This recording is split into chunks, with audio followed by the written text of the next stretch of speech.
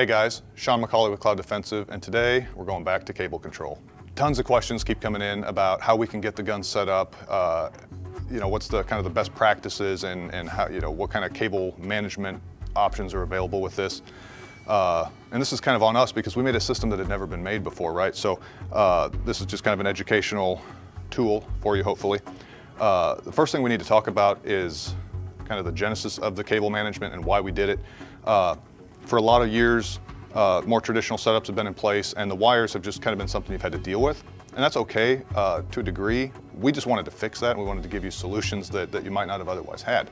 When we made the remote, uh, we did so with that in mind and I wanted to give you the ability to contain your cable and route your cable in, in a way that was going to lead to less cable exposure. Uh, and a little side note, with most weapon lights, uh, the cable exposure is a major failure point, as is the junction between the remote switch and the, the flashlight at the tail cap, right?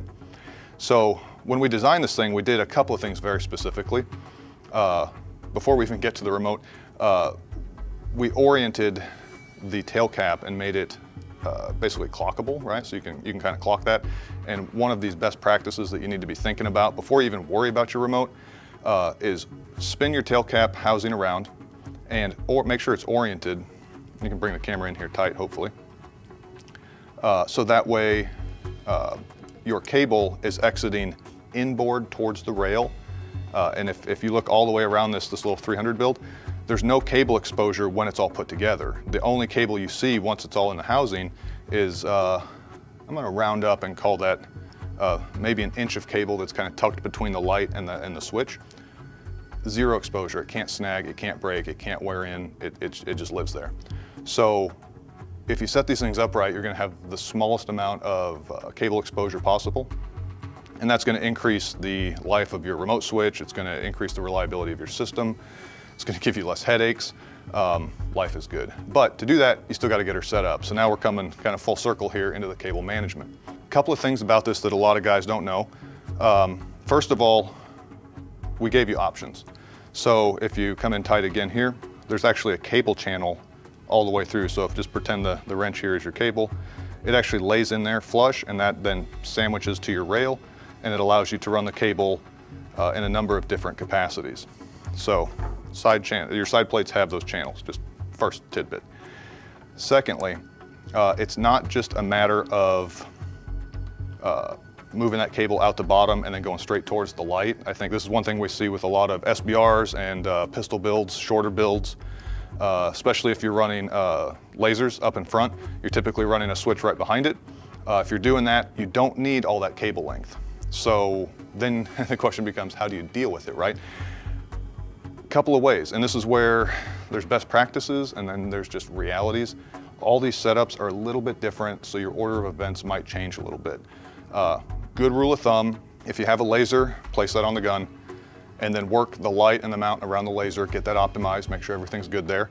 Once you know exactly where that's gonna be, uh, kind of, I would recommend putting the tail cap cartridge in, orienting the switch just to kind of see how much cable you've got to deal with. And this is a little frustrating at times, uh, but it's something that you just do once, right? Once it's set up, it's set up and then you're good. So I'm willing to, to put in a little bit more time up front to make sure it's optimal. And once you kind of have an idea of how much cable you've got to run, that's gonna tell you, you know, which of the cable channels to use, which side to exit on, which kind of brings us to the next uh, topic here. It's a little maybe counterintuitive for most people. So if you're looking straight down on top of this gun, for example, um, I'm a right-handed guy, right-handed shooter.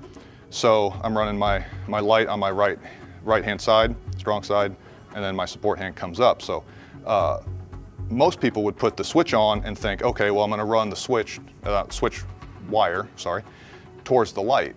Well, yes, but no, you don't have to do that, uh, especially if you're trying to contain some extra cable. So what we've got now is the ability, we just call them pass-throughs, uh, but if you look underneath the switch, you're gonna see the cable exits there, and it can come out either side and it sits inside the Picatinny channel of your choice. Uh, and then you can actually run the switch cable underneath the screws through those channels, which is kind of a sneaky thing that, that we did there. Uh, so I've actually kind of got this one preset just so the, the masses can see here. Uh, and this, this cable you're gonna notice has some memory to it. So once you kind of get it positioned, it doesn't really want to move too much. That actually makes setup a little bit easier. Uh, so all I did here for in this instance, because it's appropriate for this build, was I exited the cable from the bottom. I came out the left side. I ran up this way, across through that channel, as you can see, and then it comes back, and this is where I'm starting to leverage the early exit feature, as we termed it right there. So it allows us to turn that cable in, just like you see here, goes back, and then exits out. And what I'm doing there is I'm basically just consuming excess cable with the intent of consuming as much of it as possible inside the, the finished switch assembly. So there's just minimal excess cable. And then you just tuck whatever is left over inboard and you're good to go. So uh, just to actually do this for you guys, again, it's positioned there. And yeah, you're gonna have to work that cable a little bit to get it in place. That's okay. Uh, another pro tip here, press your uh, nuts right into the, the side plate there, get those set in position, and then that's just easier. And then all you're gonna do is come in and kind of manipulate that a little bit, just like that. So I'm gonna hold it here and we can, uh, we can show you. From this position, you're able to see that, that uh, here, I'll use a little pointer for you. The cable exits right in the middle of that switch. It comes through this Picatinny slot. Then I ran it forward and then I turned back towards the light and you can see it there. It's gonna disappear in a minute when I put that other side plate on. And then, if I get fancy here, like I said, I ran it back, so I consumed another inch and actually more of cable. And then what's left is just right there, and it's got zero exposure to the outside world. You cannot snag it, it's just gonna live there forever. So super easy. Um, and then to actually finish the install, all you're gonna do is get your other side plate, and again, you just make sure you're not pinching the cable. If you come in this way and look now, you'll be able to see, the only cable you can see now is at the corner there on this side, which is pretty cool. And it, crosses over and uh, again, you can't see much there. So you've got minimal exposure. Just push those screws in. It's a uh, 7 64th. Some guys are asking what size. There's your size. 7 64ths. And on the torque, one other pro tip, do not over torque this. This is a uh, proprietary glass-filled nylon switch housing. Super strong, super hard, uh, but imagine you can break it uh, if you over torque it. So don't over torque it. Um, I would recommend about 15 inch pounds, not foot pounds, so don't even think about it, inch pounds. Uh, Again, best practices would be to use that torque wrench. I've done this so many times, I'll tell you right now, uh, I just know what that feels like. We're good right there, and she's put together.